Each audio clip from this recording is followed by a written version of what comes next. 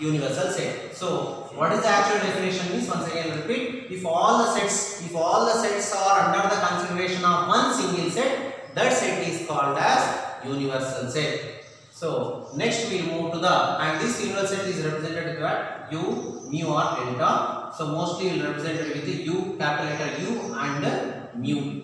Now as I said related to this universal set subset.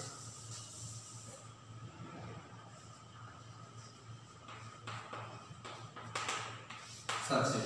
Suppose if you take a is equal to, so n is a natural number, a is equal to even numbers 2, 4, 6, 8 and so on. So if n is a natural number set and a is a equal to 2, 4, 6, 8, all these are